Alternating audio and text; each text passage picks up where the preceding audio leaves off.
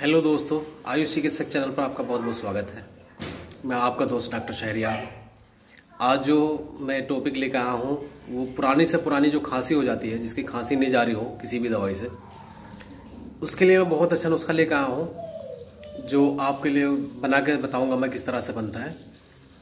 तो दोस्तों, जो नए व्यूवर्स हैं, मैं उनसे रिक्वेस्ट करता हूँ कि जो हमारे चैनल को सब्सक्राइब करें और वीडियो को ज़्यादा से ज़्यादा शेयर करें। जिससे दूसरे लोगों तक इसका लाभ पहुँच सके। तो दोस्तों, चलते हैं सीधे सीधे हम। दवाई, जो मेडिसिन वो बनानी है, किस तरह से बनानी है तो ठीक है, चलते हैं और फिर मिलते हैं। दोस्तों, हमें लेना है गोला। ये जिसे नारियल भी बोलते हैं। और इस गोले को जो है ना, हमें लेके साफ़ होना चाहिए, गंदा नहीं हो, अंदर से ख़राब नहीं हो। तो इसको हमें कद्दूकस कर लेना है। इस तरह से ये कद्दूकस जो है, इसको कर लेना है। और कद्दूकस जो है, वो ज़्यादा मोटा भी ना हो और ज़्यादा बारीक भी ना हो। इस हिसाब से हमें कद्दूकस करना है। तो दोस्तों, ये जो आज हम दवाई बना रहे हैं, ये बहुत ही बढ़िया दवाई है खांसी के लिए। और अब कोरोना की वजह से बहुत से लोगों को खांसी रह गई है और किसी को पुरानी खांसी होती है, कोई खांसी जा नहीं रही है किसी भी दवाई से। तो उसके लिए भी बहुत ही शानदार दवाई है ये। आप इसको घर पे ही बना सकते हैं। और बहुत आसान है, बहुत इजी है और ज़्यादा महँगी नहीं है। तो दोस्तों, ये जो है, हमने गोला कस लिया है कद्दूकस में। और कुछ और कुछ इतनी बहुत ज़्यादा दवाइयों की ज़रूरत नहीं है। ये घर पे ही जो है ना, आसानी से मिलने वाली चीज़ें हैं। ये गोला जो है ना, देखो, न ज़्यादा मोटा है, न ज़्यादा बारीक है।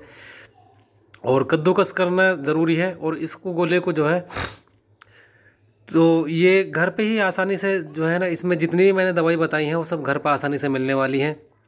ये हमने ले लिया है दूध।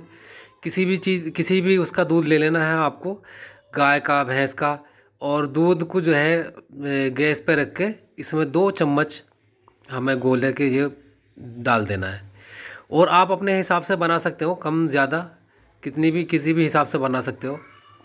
किसी को कम खानी है तो कम, और अगर किसी को ज़्यादा है या आदमी ज़्यादा है, इसको डेली बनाना है और डेली खाना है दोस्तों।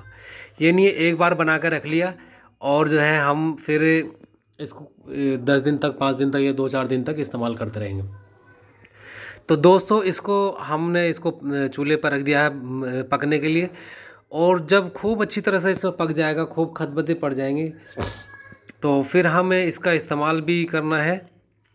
तो मैं जो नए व्यूवर्स हैं, उनसे रिक्वेस्ट करता हूँ कि हमारे चैनल को सब्सक्राइब ज़रूर करें और वीडियो को ज़्यादा से ज़्यादा शेयर करें, जिससे दूसरे लोगों तक इसका लाभ पहुँच सके। दोस्तों, ये मुझे भी काफ़ी खांसी हो रही थी, मैंने अपने लिए बनाया था और मुझे जो है, ये तीन से चार दिन की दवाई खाने से ही मेरी खांसी बिल्कुल ख़त्म हो गई थी। तो दोस्तों, ये बहुत ही शानदार नुस्खा मैं आपके लिए लेकर आया हूँ। और बहुत इजी है, बस खाली दो चीज़ लेनी है। आपको गोला लेना है, नारियल बोलते हैं जिसको और दूध लेना है। और गोले को कद्दूकस करके जो मैं आप तरीका आप देख रहे हैं इसमें वीडियो में, बिल्कुल सेम तरीके से आप इसको इस्तेमाल करेंगे तो इसका बहुत फ़ायदा रहेगा।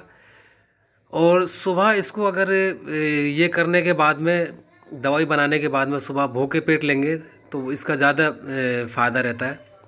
तो देखो इसको पकने दें। जब खूब अच्छे से पक जाएगा ये, अभी इसमें खतबदी आ रही है और काफ़ी गाढ़ा हो गया है। तो इसको पकाने के बाद में खाने का पूरा मैं तरीका आपको ये बताऊँगा। ये काफ़ी अब गाढ़ा होता जाता जा रहा है। देखो, ये बिल्कुल जो है ना, खोए की तरह जैसे, खोआ होता है, उसी तरह से हो गया है ये। और इसको करना भी इसी तरह से है। तो इसको जो है, हमने ये पूरे अच्छी तरह से पका लिया है। इसी तरह से पकाना है। थोड़ा हल्का भी रख सकते हो आप अपने हिसाब से। और इसमें चीनी नहीं डालनी है। चीनी, गुड़ वगैरह किसी भी चीज़ से मीठा नहीं करना है इसको। ये ध्यान रखने वाली बात है आपको। और सुबह भूखे पेट लोगे तो बहुत ही अच्छा है। और दोनों टाइम टाइम लो तो और ज़्यादा बेनिफिट है इसके। तो इस तरह से खोआ सा करके और फिर इसका इस्तेमाल करना है हमें। इसको हल्का गरम गरम ही इस्तेमाल करना है। ठंडा करने के बाद में इसको इस्तेमाल नहीं करना। हल्का निभाया निभाया, इसको चबा चबा के और इसको खाना है पूरा। तो दोस्तों, अगर हमारा वीडियो पसंद आया हो तो इसको ज़्यादा से ज़्यादा शेयर करें और चैनल को सब्सक्राइब ज़रूर करें। धन्यवाद।